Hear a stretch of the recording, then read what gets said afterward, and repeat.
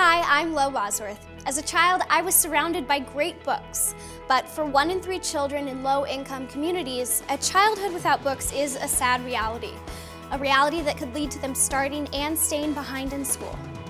Enter Jumpstart, a national early education organization helping prepare preschoolers for school.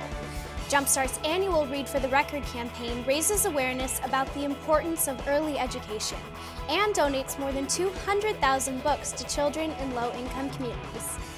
But we need your help. Register to read with us on October 8th and buy your official campaign book, Proceeds Benefit Jumpstart.